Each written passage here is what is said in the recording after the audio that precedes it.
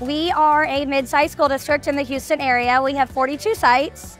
We serve about 27,000 lunches a day, um, operating out of each individual kitchen. We don't have any satellite.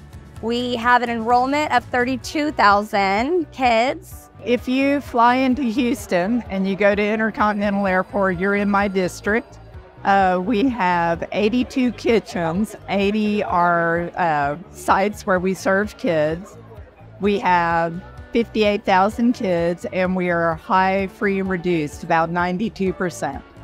Katy ISD's mission statement is to promote healthy eating and provide nutritious meals to all students, uh, teachers, staff, and visiting patrons of the district. We currently have 75 campuses and 82 kitchens uh, for an enrollment of over 96,000 students.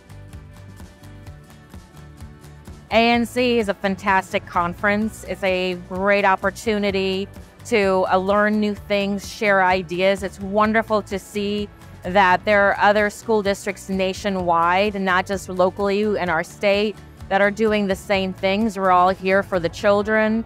We're here to promote uh, healthy meals and nutrition for our students, nutrition education. I'm at conference because I'm going to be on a panel later for a discussion about innovations in food service. Automation is so important because it saves on labor. The other thing is accountability.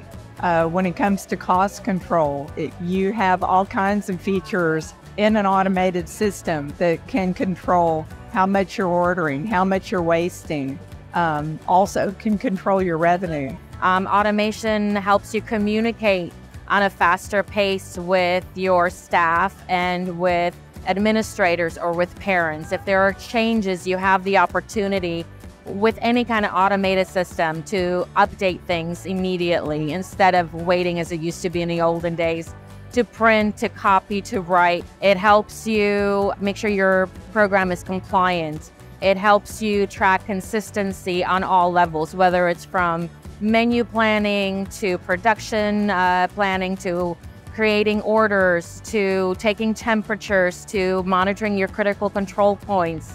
We have so many things going on in the kitchen on a daily basis um, that it's one less thing the manager has to worry about. Now they can worry about food presentation, um, food quality, customer service, making sure their team's supported because we know that we have automation systems that have our back. We use SmartSense um, and we, we use it for freezer coolers and for our digital thermometers. Um, we no longer have to deal with paper records when the health department comes in and wants to see what's going on with us. Um, we can just pull it up on a platform. It has been a wonderful addition to our kitchens. Um, managers are very excited to use it. It has made things a lot easier to track the critical control points uh, and temperatures of the foods that we serve, whether hot or cold. Better way of tracking food quality uh, to make sure that we're serving the food as the uh, vendor and the manufacturer intended it to be served. I hesitated for about a year because I was worried about compliance. My thinking was if something was out of temp, and they recorded it, then it would be forever recorded, and that scared me. Um, but I actually ended up being pleasantly surprised by how well my employees embraced it and how it actually improved processes because it held them accountable. The best part of it is that I can look at any time and make sure that I have food safety occurring in all of my kitchens. And SmartSense allows us to see which employees are taking temperatures on a regular basis and to make sure that they're responsible for the areas uh, in the kitchen, whether they're serving or prepping or cooking the foods, that um, all the temperatures are being taken, all the uh, flow of food cycles are being followed.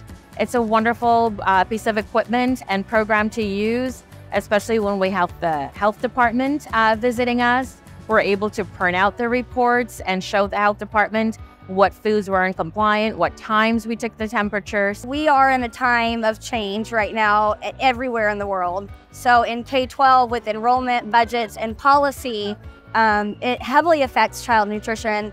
They just released the new standard, the final rule, right? And so we're having to cut back on sugar, you know, sodium levels, and one last thing that we now have to worry about is using automation. I had mapped out all kinds of time for us for training, for retraining that was not necessary.